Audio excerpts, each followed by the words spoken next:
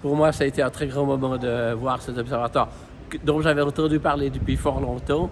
Et la visite a été mieux que ce que j'espérais, de réaliser qu'il y avait plusieurs expériences avec des buts scientifiques parfaitement définis, bien que des petits télescopes, eh bien, il y avait des réponses attendues à des questions fondamentales d'astrophysique. Un bel exemple, c'est l'expérience trappiste, comme ça, qui est le but de chercher des transits de planètes devant des étoiles.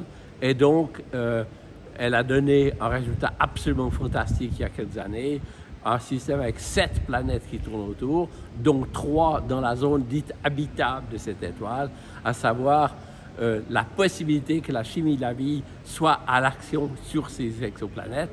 Et ce sera un des enjeux, une des cibles parfaites pour le Space Telescope, le James Webb Telescope, qui a été lancé voici quelques mois.